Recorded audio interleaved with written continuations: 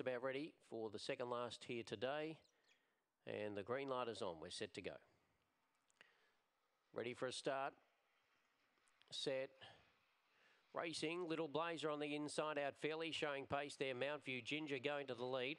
Up on the outside was Wills Bella to challenge, and then came Walk on Betty. Further back was Rocks on Telling behind those Blaze and Jewel. Up to the corner, Mount View Ginger just the leader. The outside, Wills Bella's trying hard. Wills Bella, Mount View Ginger's kicking back. I think Mount View Ginger's just won it from Wills Bella.